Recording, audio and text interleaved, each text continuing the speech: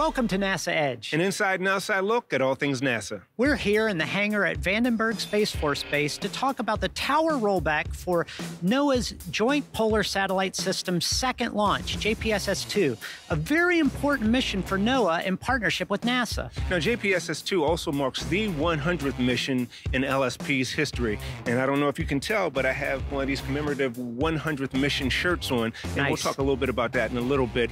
Uh, but over the course of the show, we'll talk about history in addition to pulling out a couple of old school commercials from the LSP video archives. And wait, there's more. if not only that, we're going to talk about a very important technology demonstration mission for NASA, LOFTID. And a good friend of ours, Kristyn Damadeo from NASA Langley Research Center, is going to help with those interviews after Tower Rollback. So before I head on out to the pad with Mick Waltman from LSP to talk more about rollback, uh, you know what they say, you don't know where you're going until you know where you've been. Let's take a look at LSP's history. Status check proceed with terminal And now coming to us through a downlink from a T cell. T minus 10. T0 plan for 0205. And liftoff. You never forget your first. And my first mission I worked was the demonstration of autonomous rendezvous technology. Basically, it was demonstrating the technology of autonomously docking to a spacecraft in space. At the time, I didn't really understand or know what that technology was being used for, but now that technology is being heavily used today. My first assignment was Lucy as a backup integration engineer. I felt overwhelmed at first, but I started to realize I had the full support of my management team.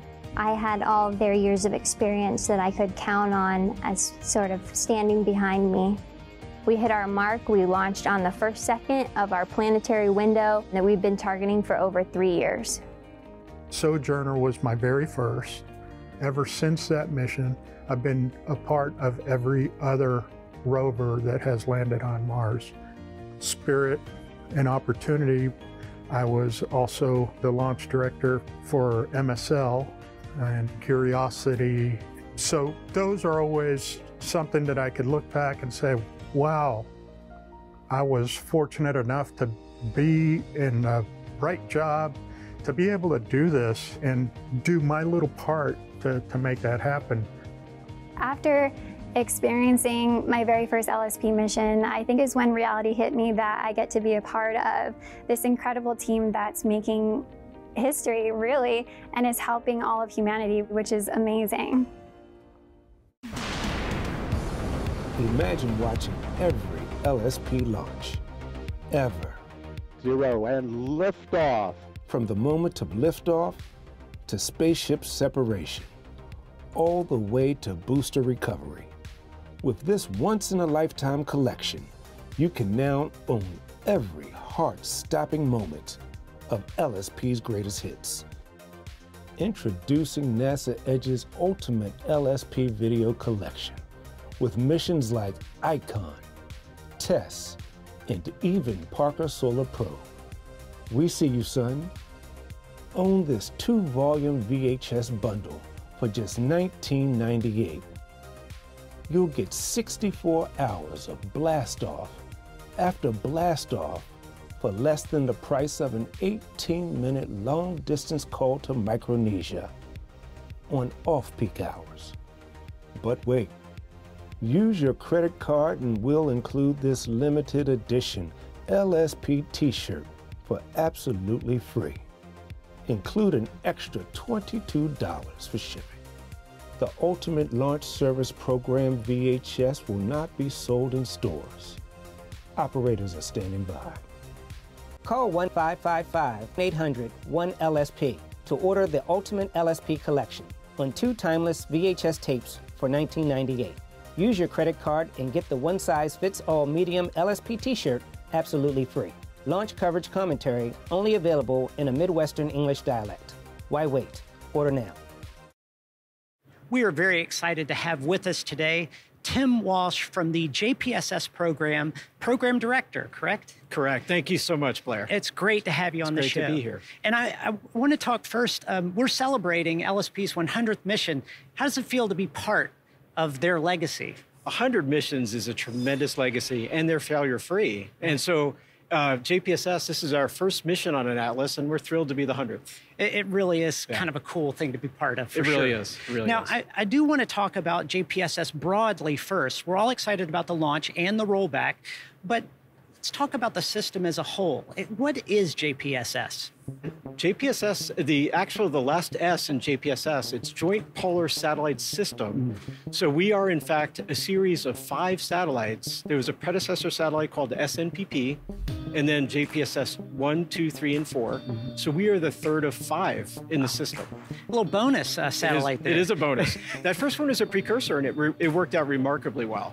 Well, I want to talk about that for a second. So when you started, you didn't maybe necessarily know that it would develop into this full system. You, you kind of had to prove yourself. We did. We were using four really, truly cutting edge instruments on SNPP. And, and then those instruments now are used in, S, in JPSS-1, which is now called NOAA 20 on orbit. Yep. And then we have JPSS-2, we're, we're so excited to see in orbit.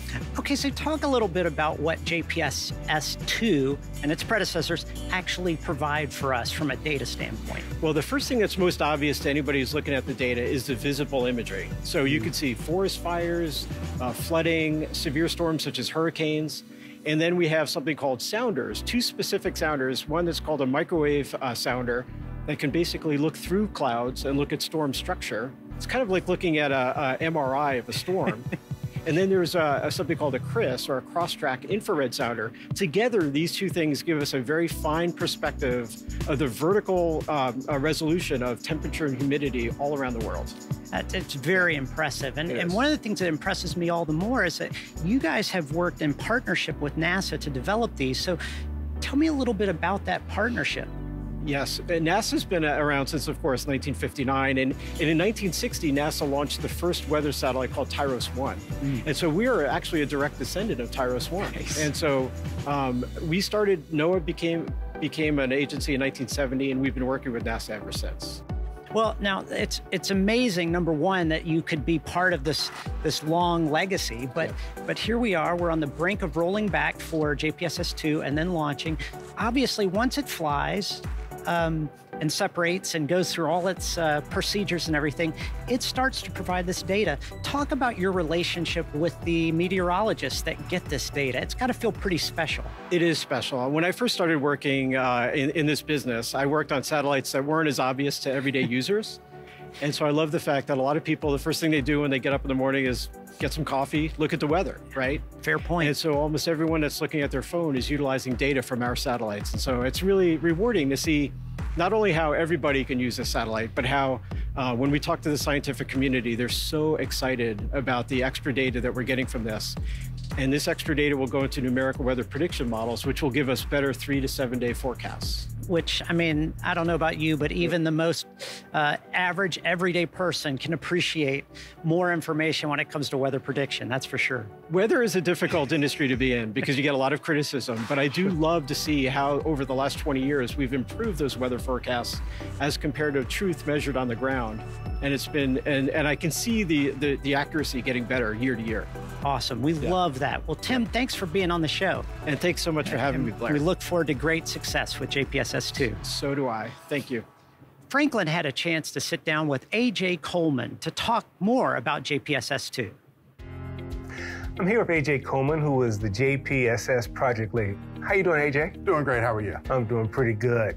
So JPSS-2, uh, this is the uh, second in the line of the JPSS satellites. Mm -hmm. It's launching five years after JPSS-1. Are these satellites identical?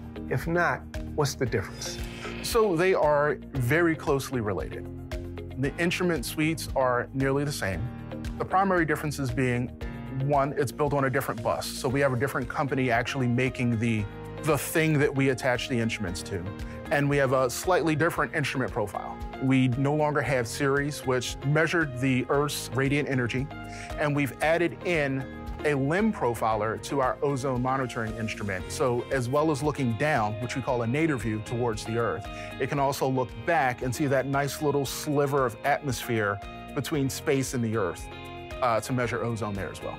Well, you just mentioned two of the instruments. Can you name was it, four instruments on JPSS-2? Four instruments on JPSS-2.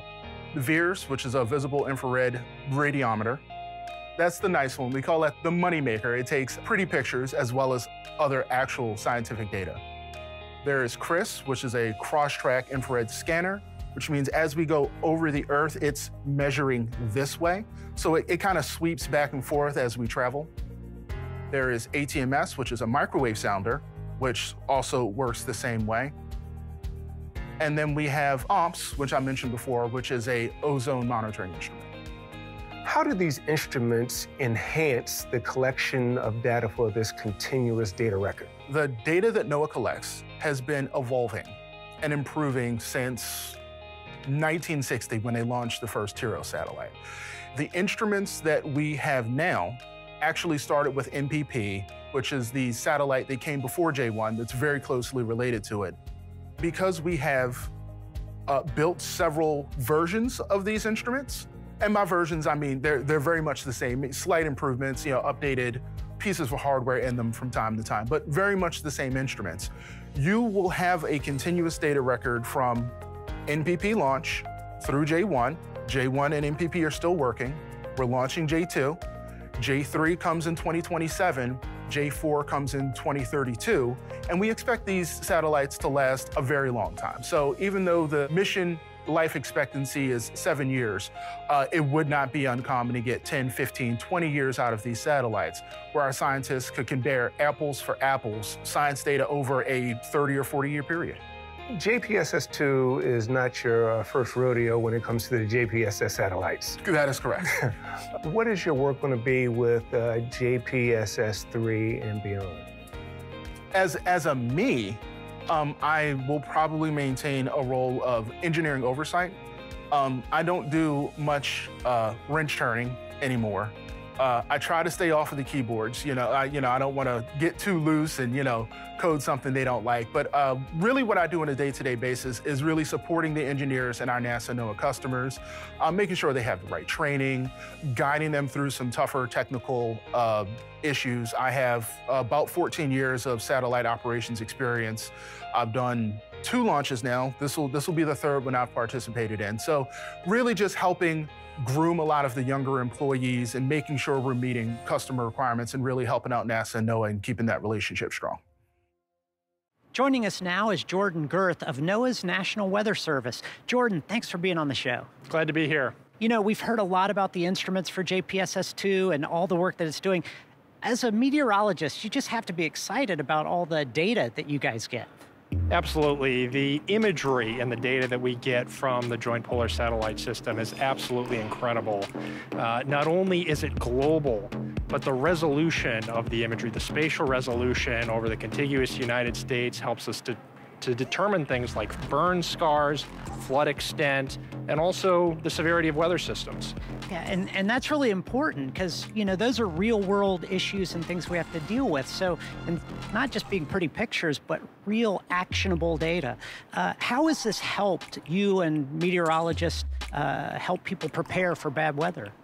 The JPSS system, and we already have one of the satellites in the series up there now, JPSS 1, launched a few years ago, those satellites are the most significant input that we have to these sophisticated numerical weather prediction models.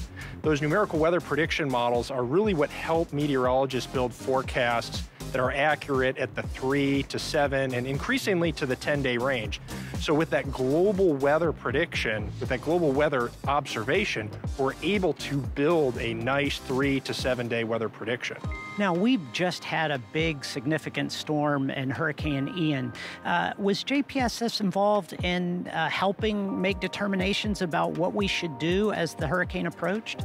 Our National Hurricane Center meteorologists use a lot of satellite data because there's very few other types of observations over the ocean. We have a few buoys and we rely on ship reports from mariners. Those are important to us. But to get a sense of the storm expanse and the storm structure, that's where these satellites come into play. And JPSS in particular, there's a couple things that we saw in the JPSS-1 data to really help us understand that storm, one of which from the Advanced Technology Microwave Sounder gave us a really clear indication of the eye wall, a very strong signature uh, that indicated the intensity of that storm. Now, how does that compare to previous uh, storms where you didn't have that data? Well, if you dial back the clock far enough, we didn't have any satellite data. And of course, Fair. that was really, really difficult to deal with, right? There was a lot of chaos in coastal areas with that uncertainty of not knowing. Maybe you heard from a faraway ship that there was something out there, but where was it going? Was it headed toward the U.S. landfall or not?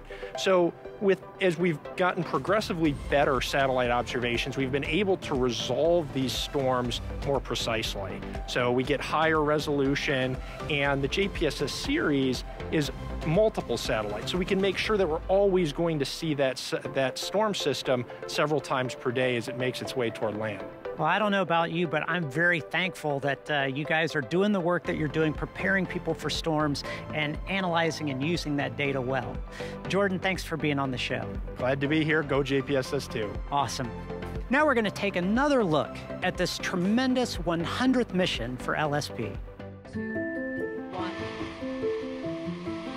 And liftoff of the Falcon 9 and DART on NASA's first planetary defense test to intentionally crash into an asteroid. In my time during LSP, the most significant demonstration of technology that I've seen has to be the DART mission, the Double Asteroid Redirect Test mission. Essentially, we launched a spacecraft. It traveled over 6 million miles to an asteroid, and it crashed into it. This was mankind's first attempt to prove that we're smarter than the dinosaurs. The dinosaurs had a horrible space program. They had no way to protect themselves against an asteroid coming in to wipe them out. First of all, that's the type of stuff you see in a movie. So just starting from that, I think that's really unique and really cool that it's not actually a movie. We're doing this in real life. Like we do this for work. My favorite mission, even though that's a difficult question to answer, has to be the MER missions, the Mars Exploration Rovers, that Spirit and Opportunity. We launched those in 2003. That happened to be a mission that I worked from beginning to end as a mission manager. I got to meet really exciting people. I got to meet the scientists involved. I still have friends that I made back then from JPL and headquarters.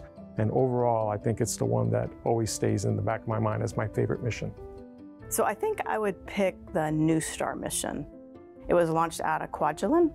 I had never been in that part of the world before.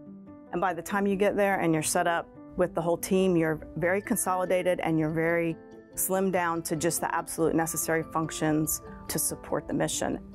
Didn't have the connection back to the mainland that you would normally have, and so you all had to get together and work all the problems together. You had no cars, you had to ride bicycles. So there were all kinds of not just the challenges with the mission, but challenges with the living environment and what you had to do.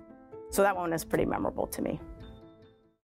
We're live here at Slick 3 at the Vandenberg Space Force Base, and I'm joined today by Mick Waltman from LSP, friend of the show. How you doing, Mick? I'm doing great, Franklin. Glad to be out here for this mission. Looking forward to this. Absolutely, Mick. Now, behind us is the uh, MST, the uh, mobile service tower, and behind it is the Atlas 5 and the 401 configuration. Can you give us an update as to uh, how things are going on this evening? Yeah, absolutely. The team has been on console for a couple hours now. They got the vehicle powered up, uh, testing things out, getting ready, checking out ground systems. Um, they have uh, run into a small issue on the ground system with a leak that they've noticed, so they're doing some troubleshooting right now on those ground systems, uh, getting making sure everything's ready to go for the J2 launch later this morning. Uh, and uh, that's pretty normal for the team. They've got some built-in holds in the countdown, so everything's still moving forward on schedule. Just working through those uh, ground issues before they get ready to move the MST. Okay, so for for those uh, of our viewers who you know maybe haven't been on uh, any of our shows, here we have a rollback. The tower is going to roll back to expose the Atlas V. Now, back in the Cape on the East Coast, we have a, a rollout where the uh, launch vehicle leaves the uh, vertical integration facility, The, the, VIF. VIF. Yep. Yes. And um, that's the difference in these, these two procedures. Yeah, here at uh, Space Launch Complex 3, it's got a long history here, starting back in uh, 19, December of 99 when they launched uh, AC-141 from here, which was the first modification after the early ICBM missiles that were launched here, Atlas missiles. So EOS Terra launched here, that was first one. Uh, LSP was actually part of that mission. Uh, and then today we've got the J2 Atlas V uh, launching here. So this pad was always built with a mobile service tower that rolls back about 300 feet and it moves the whole tower. As you said, the clean pad concept that ULA has in Florida, they do all their integration and work in a vertical integration facility, and then they roll the vehicle to the pad, and that allows them to get uh, more work done. Uh, clean pad as far as keeping the pad uh, just operational from that from that aspect. Uh, tell us a little bit about the Atlas V and the 401 and some uh, history that's taken So place. yeah, I, I mentioned uh, AC-141 in December of 99. That was the first mission for us LSP off of Slick 3 here. J2 will be our last uh, Atlas V from Vandenberg Space Force Base. It is the 41st Atlas V uh, for United Launch Alliance in the 401 configuration, which has been a workhorse uh, for United Launch Alliance and NASA LSP. This is NASA's 100th mission. So LSP is very proud to be bookending the history here at Space Launch Complex 3 with our commercial partner, United Launch Alliance. They've been uh, a huge help to us over the years getting our scientific missions on orbit, and we're just so happy to have J2 and the LOFTID mission uh, launching here today from this historic pad. Now, this uh, Atlas V that's taken off, it's, it's doesn't have any solids on it. Yeah, that's the 401 configuration. Zero solids, because the performance we have here to get into polar orbit for J2 and then LOFTID later on, uh, we have a lot of performance out of this vehicle from the uh, West Coast here. Now, we were talking about a little bit earlier. Uh, we're trying to position J2 in orbit near J1. It's almost like park putting it in a parking space. Yeah, so right now, as you heard earlier, uh, we have J1 that's up there now, and then a, another satellite NPP. Uh, and as we get ready to launch J2 tonight, we're going to put it in a specific spot about 180 degrees out from J1 in this uh, sun synchronous polar orbit that, that they're in. Uh, going over the poles, north and south, you know, every 14 days, taking pictures of the Earth as it spins. So it is very, uh, it's needed to be able to get it into that parking spot, like you said, Mhm. and that's why we're using the 401 due to reliability and the accuracy that they've had over the years. Uh, we're going to launch that rocket tonight and put J2 exactly where it needs to be. And the follow-on missions, uh, J3 will be positioned in the same way. Yeah, absolutely. J3, J4 that NOAA's working on. Eventually, when we get ready to launch those, they will put those in a similar orbit in different spots so that NOAA then can look at Earth from different uh, spots in the same polar orbit using all the satellites uh, that they have up there, allowing them to get better data, uh, better uh, capabilities to look at weather. Hey, Mick, well, that sounds great. Uh, you know what? Roll uh, roll out is uh, forthcoming. Forthcoming, yeah. Roll, roll back. Roll back, yeah, not roll out, roll back. We're Roll back move the MST. Absolutely. Uh, so you all just make sure you stay uh, tuned uh, into NASA Edge and NASA TV, who has the broadcast coming up uh, later on this evening into the morning. But right now, we are going to go to a word from our sponsor, LSP. Are orbital insertion challenges keeping you up at night? Has your spacecraft experienced rapid mass or weight gain? Have changing mission requirements caused anxiety about scheduling and cost? There is a simple solution. Try LSP. LSP is NASA's all natural, 100% organic answer to those struggling with the chronic symptoms of mission planning. Once you start using LSP, the discomfort of mission management should subside. It is not uncommon to see immediate results, such as mission mass stabilization, appropriate load analysis, launch vehicle identification, and a reduction in manifest phobia. LSP is safe for all scientists and engineers. However, please consult with your physician before using LSP, as mission success can be followed by extreme professional euphoria and promotion. Start using LSP today and enjoy healthy mission success. Do not use LSP if you desire proper launch vehicle selection, integration, load analysis, or successful launch and deployment of your spacecraft. Personally, I've used LSP for years and I've suffered no side effects, only benefits. But please check with your doctor. And joining us now is Joe Del Corso of LOFTID. Joe, thanks so much for being on the show. Thank you for having me. Well, I tell you, we're really excited. I mean, JPSS-2 is an important mission, but this very special mission of LOFTID, this technology demonstration, is also extremely important for NASA. Tell us about your role with LOFTID uh, and, and what it does. Well, uh, so like you said, uh, I've been with LOFTID for a very long time. I am the project manager for it. Uh, LOFTID is the low Earth orbit flight test of an inflatable decelerator. What this is, it's a technology demonstration of a specific technology called HIAD, the Hypersonic Inflatable Aerodynamic Decelerator. So uh, this is a technology that's been in development for uh, almost 20 years at this point. Wow. Now, you've tested HIADs before, but this is the first full-scale test of LOFTID? That's correct. So what we've done in the past is we've tested uh, three meter articles, sending them straight up into space, bringing them straight back down. The difference between that and what we're doing now is we're going to send our article into orbit.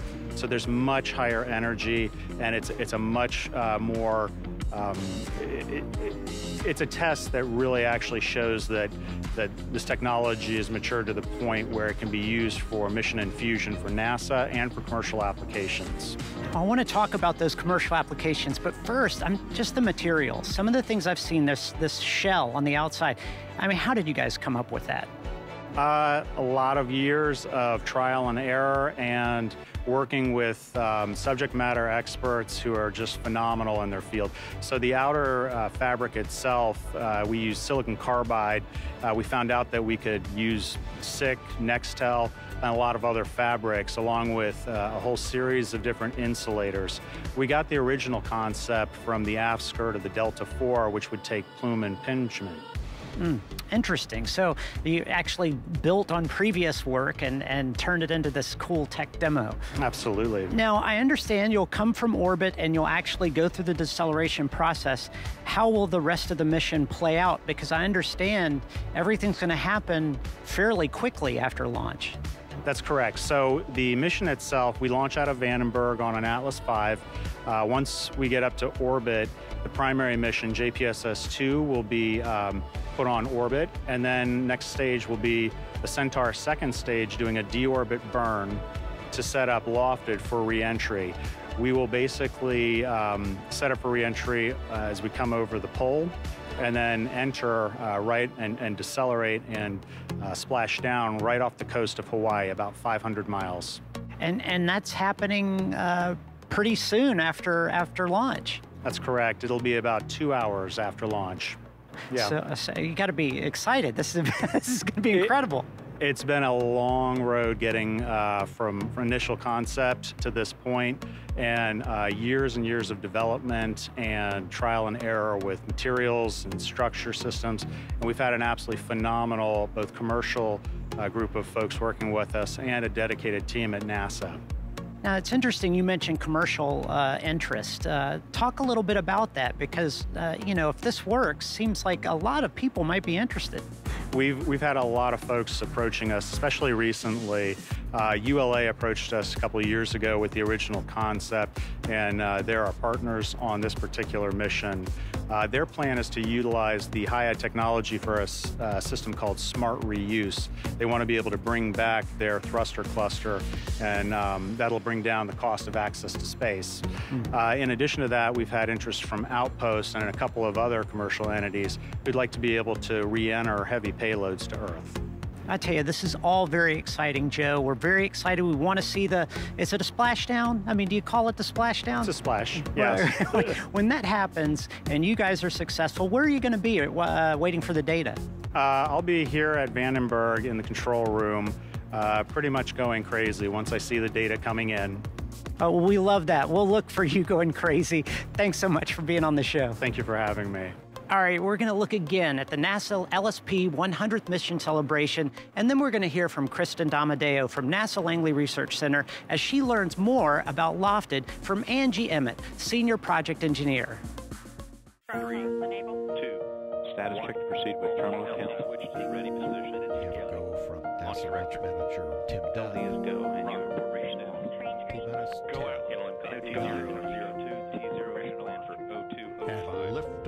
It's been said many times, I'm not the first, won't be the last, but we really consider LSP to be a family. And by being kind of small and flexible and agile, we really have grown incredibly tight over the uh, now 24 years that we've been a program. Working with LSP is working with family. It's not even like family, it is family. There's a lot of stress in the jobs that we have. We are trying to make sure that a spacecraft gets launched successfully where it needs to go for people who have worked on it, you know, their whole lifetimes. And so that's a lot of pressure on the people in the organization. And so when you accomplish that launch, you know, you've done it together as a team. And so we all come together like a family to solve the problems and to get the mission done. And we're all working to achieve the same goal. The one thing I love about it is we make each other better. It's not just about the launch day, but the little things that we do all day, every day that make the workplace enjoyable. I actually got hired on during the pandemic. And even though I was not meeting people like I normally would, I got to experience that family atmosphere even virtually. And so I think it's something that really it's it's woven throughout the fabric of the program. And so there's a culture within LSP where people don't have to look behind their back afraid that someone's going to step on their back to get to where they want to go, but instead there are people who have your back and are pushing you forward so that you can be successful and so that the program can be successful. And so that's where that family atmosphere comes from. It's talked about, but it's not just a saying, it's, it's a lifestyle. And so it's really cool to be a part of that. Come on down to Madman Allen's used rocket emporium for all your rocket needs. I'm Madman Allen, and I'm mad, mad for used rocket engines. We got vintage rockets. We've got two stagers. We've got boosters. Check out our inviting selection of Pegasuses. Buy two and we'll throw in the plane absolutely free. We've got Atlas 5s, we've got Vulcans, we've got Falcons. You like them heavy, we got them too. Look at this beaut. I've got so many rockets, we're giving them away. Forget the alphas, we've got deltas. Need a lightly used engine? Madman's gonna set you straight. We've got Minotaurs, we've got Falcons. Did I say Falcons? Bring that old bucket of bolts down to Madman Allen's used rocket emporium, and we'll put you in the launch vehicle of your dreams. Take exit 5 off I 95 and drive that sucker all the way down to the coast, then turn around, head back about two miles to the Gulf Coast rest stop. We'll be by the picnic tables. Drive in with the car, blast off to a star. Like my mama used to say, science is fun if you own a rocket. Hi, Angie. Thank you so much for joining us today. We're getting so excited for the LOFTID launch. Can you tell us a little bit about, as a mechanical engineer, what is your role with LOFTID? Oh, mechanical engineer is a great role on LOFTID because we get to be a part of the vehicle from the design phase. We get to be there when they machine the parts, when they fabricate the parts. We get to be there for the assembly, for the integration, and for the testing, all the way cradle to grave from design to launch. So this is a follow-on test to several other iterations of an inflatable decelerator that have flown before. What is different about this test, this spacecraft? What kind of challenges did you face in building this? Yes, it is different. So there's a couple of uh, areas that it is different. So this time we are actually going up and we're going to orbit the Earth and come back down. So that brings a challenge of recovering. We're going to splash down off the coast of Hawaii in the ocean so we have to be able to get to the splashdown site. We have to recover the vehicle, at least we'd like to recover the vehicle, get it out of the water. It's going to be waterlogged, it's going to be holding some water, get a boat with a crane, get it off of there. Also, another big challenge is just the size. It's a bigger vehicle. It's the six meter diameter aeroshell. When it's inflated, it's very rigid. And when it's deflated, it's soft goods, so it's floppy. The heat shield is a silicon carbide, so you have to wear protection when you touch it. Yet it's really delicate, so you have the way you handle it. Um, it's 400 pounds of just floppy material that you need to handle. So that's another challenge as well. Sounds like it was a lot of work to figure out how to pack it into the canister that it's going to be launched in. Yes, they had lots of practice and did lots of testing to ensure that they could pack it within its volume. We also brought that equipment to pack it here to Langley because we did have a test where we deployed it in a vacuum. So once it was deployed, we needed to pack it back again. So we had all of the machinery to do that here. So LOFTID is going to be packed, but it's also going to be packed into the ULA rocket with another payload. What did you have to do to overcome any challenges with regards to being a rideshare? So we did work very closely with our partners. Uh, we needed to ensure that we fit within the required volume and that we were uh, that we had the mechanism to attach and separate from that rocket. Now, being with another payload, we had to adhere to their schedule because if we're not ready when they launch, then we lose our ride. So we want to ensure that we definitely maintain schedule, that we're cognizant of that, and we're also cognizant of the materials that we use because we don't want to contaminate their payload. So Angie, you mentioned that LOFTID is going to splash down in the Pacific Ocean. Did you have to do anything specific or anything different with the spacecraft so that you'd be able to find it? Oh yes, yes. We have several items on this uh, vehicle to make sure that we can find it because it is going to be in the middle of the ocean. And of course, we want to recover it. It'll be dark, right? Depending on how long it takes for the boat to reach the instrument, it could be daytime, it could be nighttime. Uh, if it's nighttime, there, so we have a couple of different features. If it's nighttime, we have some flashing lights, some kind of aircraft lights. We also have these mirrors that will reflect light back at you from any angle. So any angle that you shine a light on it, it would reflect right back to you. We also have some uh, beacons that will uh, transmit its GPS location too. So we have a number of different ways to be able to find it.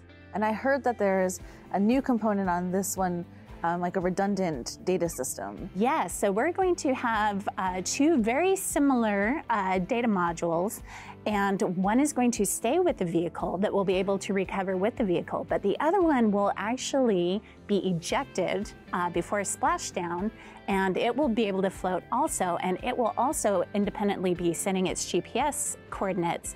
So we have the ability to find that ejectable data recorder and then also have the internal data recorder in the vehicle. What are you excited to see? What to you, what will make this mission a success? Well, of course, all data that we get is great data. We love data if it comes from the real-time beacon that's going to be transmitting data through the experiment, if it's capturing data from the ejectable data recorder. But what I'm really excited to see is when we recover the vehicle, actually being able to see the physical aeroshell and seeing how the vehicle looks after reentry. I think that's going to be really exciting. Very cool. Well, that's really great and very exciting. Thank you so much. Thank you. Joining us now is Stephen Tobin, who's the lead thermal engineer for LOFTID. Stephen, LOFTID deploys a flexible thermal protection system. I imagine it has to be challenging to develop a protection system that's flexible. Can you tell us about the challenges involved in this project? Uh, yeah, so the flexible thermal protection system is made of these layers of flexible blankets, and we have to build them so that they're thick enough to protect the underlying inflatable structure from all of the aerodynamic forces and aerodynamic heating during hypersonic reentry.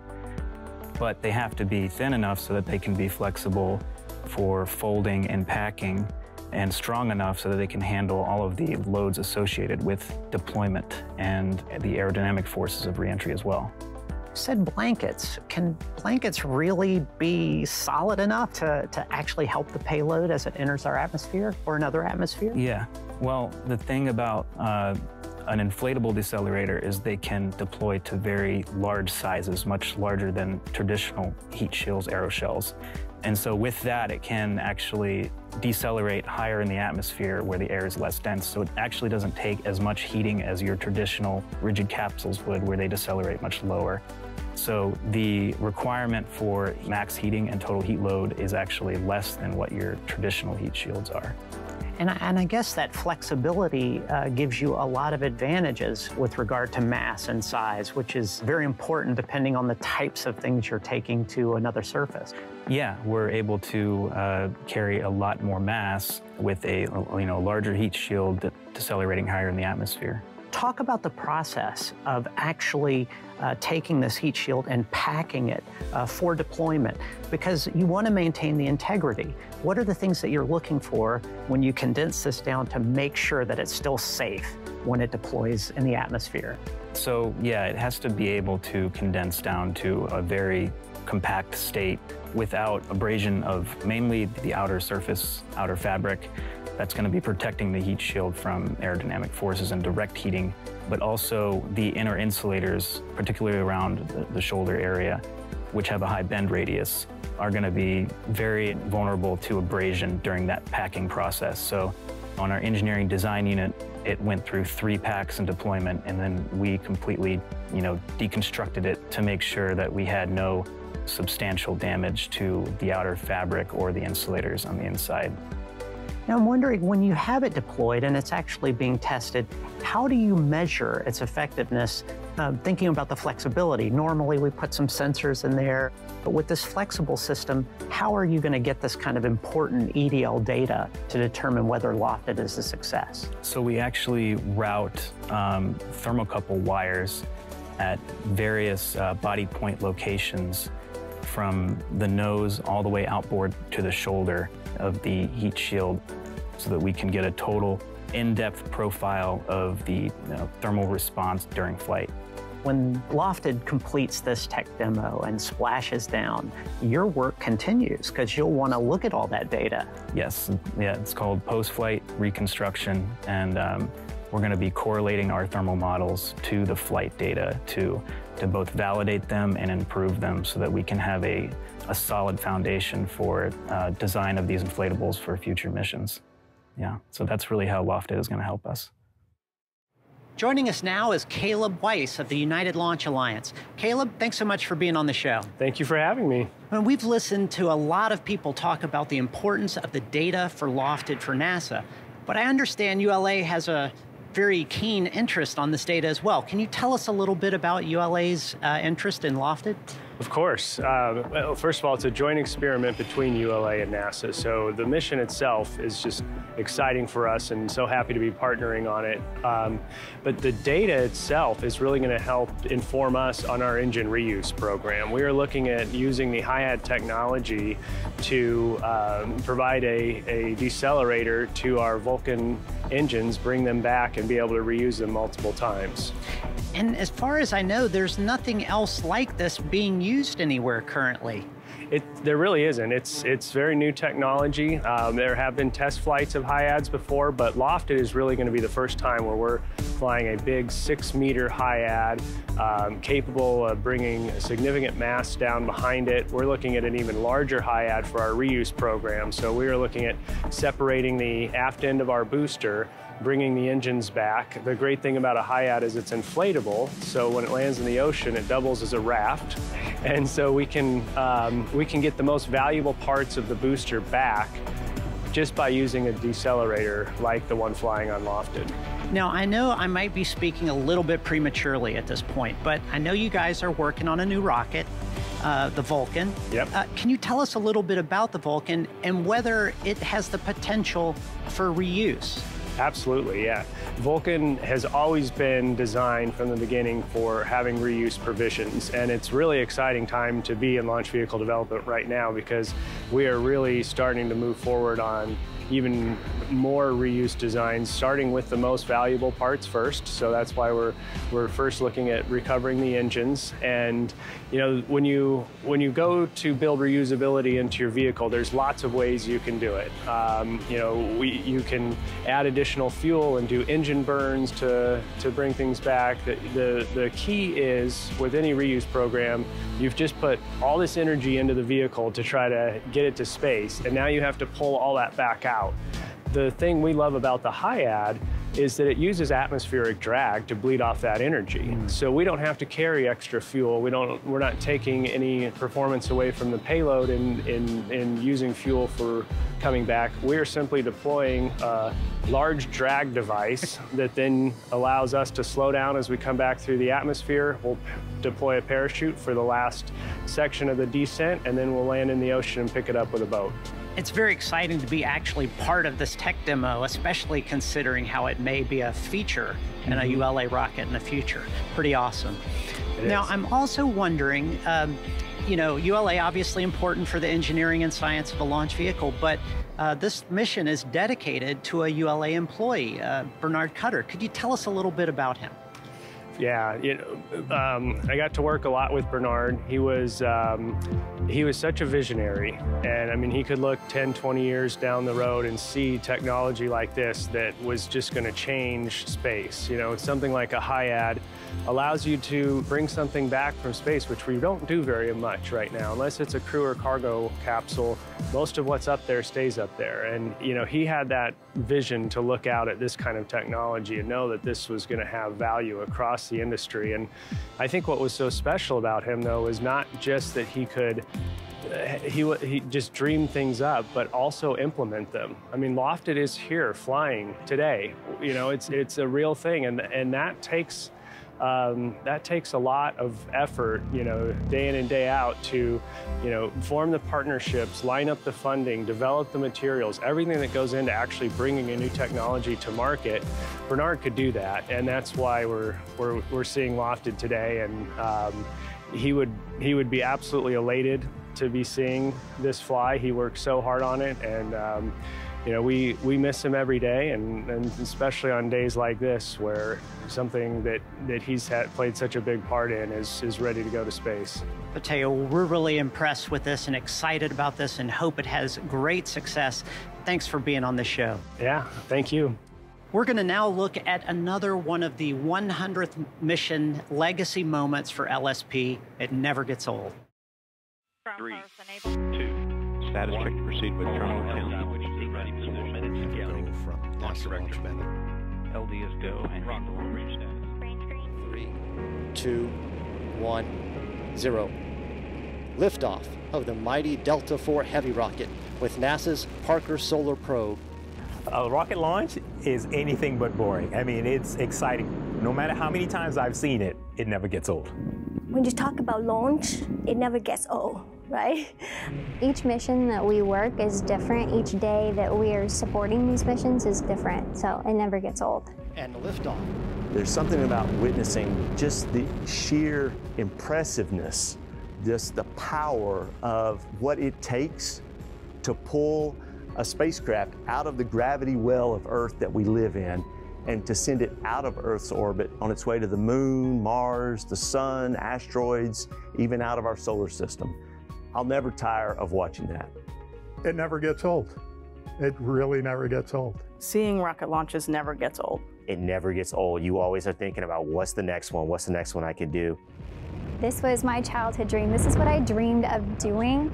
And you get to be a part of something that's so much bigger than yourself. And to me, that was the best thing that my childhood self could ever ask for. The 100th launch for NASA's Launch Services program began with a textbook tower rollback at Space Launch Complex 3 of United Launch Alliance's Atlas V, carrying both the primary mission, JPSS 2 satellite, and NASA's technology demonstration mission, LOFTID. The 100th launch was spectacular, but for both missions, it is only the beginning of a series of milestones early in flight. After the successful separation of the JPSS-2 satellite, we saw the dramatic technology demonstration of LOFTID. After inflating and separating, the low-orbit in-flight test of an inflatable decelerator began its quick and safe return to the planet Earth. Everything went according to expectation and LOFTID performed beautifully. This 6 meter diameter aeroshell may look slow at separation, but it will reach speeds of over 18,000 miles per hour before splashdown.